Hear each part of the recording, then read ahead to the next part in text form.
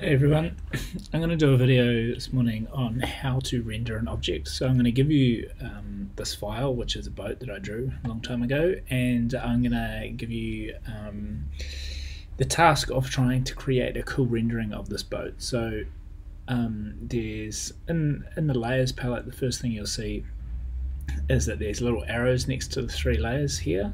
Um, so if you click the arrow, um, it expands the layer and shows you what's underneath the layer. So I've given you um, an exterior, I've given you some people in the boat, and I've given you an interior of the boat. Okay, so we'll start with the exterior. Um, at the moment, everything should be set to be a default material, which will, when you turn it onto rendered, will give you this view. Um, if your computer is not able to show everything or it's lagging as it as you move around, turn off some of the things. Um, try turn off the motors at the back um, to start with and you might find that it moves around a little bit quicker. So what I'd like you to do is have a go at rendering this and see how cool a rendering you can create from this boat. So um, it's all layered and color coded so you can see the different parts. You can choose what materials you put on it.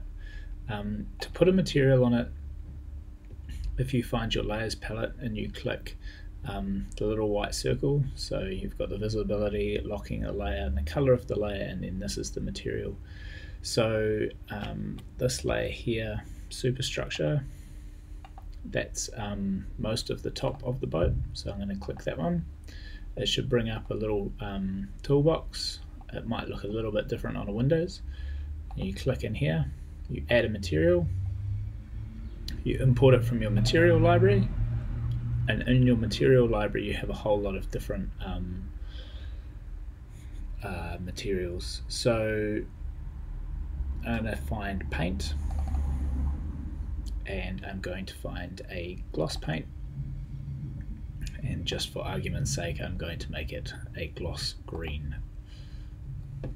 Hit apply. Then when I turn this to rendered have a nice glossy green paint and you can see the gloss um, because it's got that hard line on the roof that's reflecting the environment around it.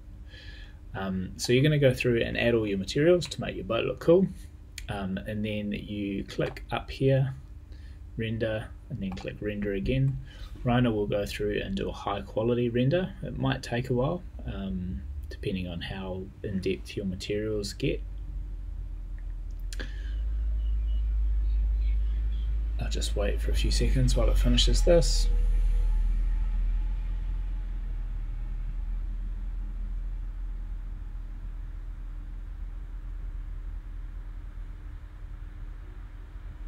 Alright, so you get the idea, you'll get a nice rendering here, and then you'll be able to save this picture um, by... I'm not quite sure how you save it until it finishes. I'm sure you can work it out. So what I'd like you to do is create a cool rendering, um, save it, and then send it to me of this boat. Um, what you may find is that you need to set an environment. So I went over this very briefly in one of the previous videos. Um, and so we will do, I'll just show you how to find the environment and set up an environment um, down in this layers panel. And this is nearly finished, so see if we can save it. Um, Mm. How do you save this? What do these buttons do? Oh, maybe I should click the one that looks like a little disc over here. So click that and then you'll be able to save it um, somewhere and then send me the save file. Okay, so the environment is this last icon over here. And so Rhino is reflecting the stuff in this paint of the environment, so the environment around this boat. Um, so in order for Rhino to reflect accurate things, you have to put an accurate environment in. So at the moment it's set up to be a basic studio environment. So um, we'll delete that environment. Yes, I want to delete that environment. And I'm going to add import from environment library. And it gives me a whole lot of different environments. Um, I'm not sure if there's a better way to view these. Um, but you might just have to experiment a little bit and see what you can find.